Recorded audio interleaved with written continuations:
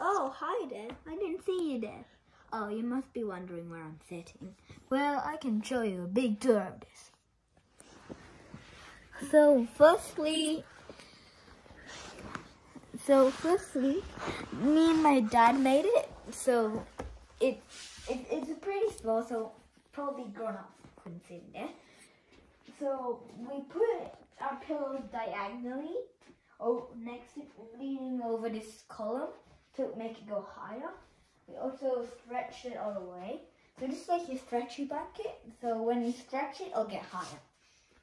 No extra light. So when you're sitting inside, you don't get disturbed by cold. Then come here.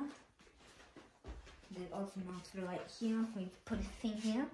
So if we remove this, it'll be all wavy. So we're just gonna keep that there. We've got a little chair here if you wanna if you wanna sit here. Maybe grown-ups can sit here. And again we've got two diagonal pillows. And I can show you inside now. So there's enough sit space for at least the size of me. Yeah. So it's more of a military bunk, I guess, because you have to crawl in.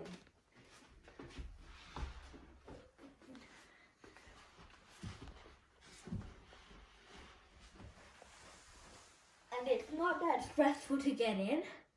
You just have to slide in. Maybe if you know how to commando crawl, could do that. So your pants don't get pulled down. So I'll show you now.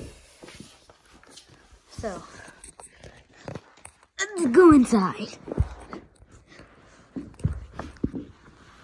We got our big chair. That's the big chair. Then no extra light as you can see. Just that cushion. Then here there's enough sit space for one kid. And the other on the other side. And up here too. So it's very good and you can create it yourself. So you just put do that up.